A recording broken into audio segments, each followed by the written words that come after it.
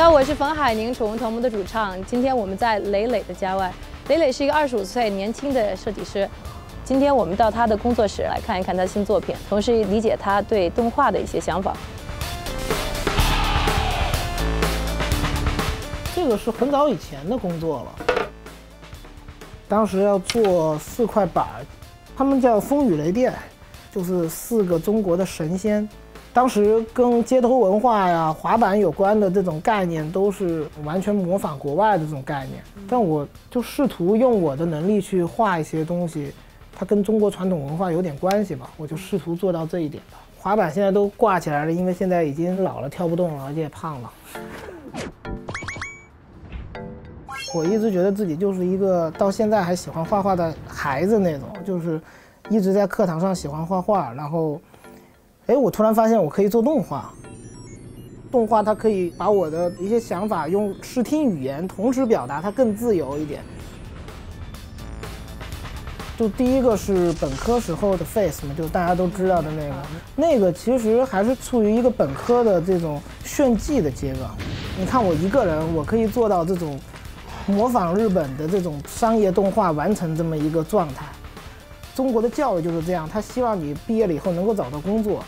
然后他不希望你有太多的跳跃性的思想，所以你的工作应该是，比如说你是完成了一种技术层面上的高度就可以了。仅仅是为了模仿或者仅仅为了炫技，包括现在很多的大学生的作品，它其实没有什么内容，就内容很空泛，但是但是就是为了去表达我可以达到这个能力。其实动画最好玩的还是用动画这种语言去表达自我的情感，我觉得这个是最好玩的。比如说我的动画直接画在我们小时候的这个田字格上的，然后每一张去扫描，扫描完了以后变成一个动画片儿，就加拿大那边就获奖了。那个当时他们就问我你为什么在这个本子上画画？我说我就觉得我在江西小的时候上课在英语本上画画的时候，英语老师就骂我，你为什么不好好学习英语？现在我终于不用看老师的嘴脸的时候，我就可以画个够，因为我没有。各种工业化的一些流程，我也不需要去跟别人合作，不需要花时间在探讨上，我就对我自己真心对我自己负责就可以了。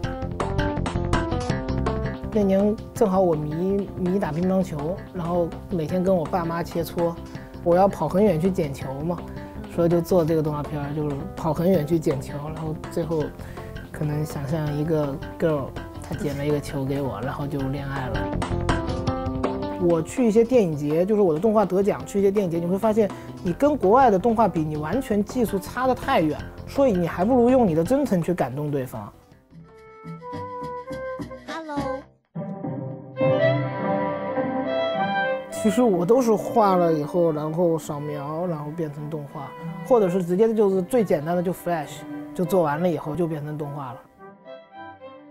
可能太多的人都限于技术了。限于产业链中的一个环节，我会 After Effect 或者我会玛雅，那我就我就是一个动画师，那我就是只是产业链中的一个螺丝而已。而当这个产业链淘汰了或者升级了，你的螺丝就没有用了。我希望还是维持一个一个人创作这种状态，然后希望二十年以后我还能有这种状态，对动画执着的这种状态。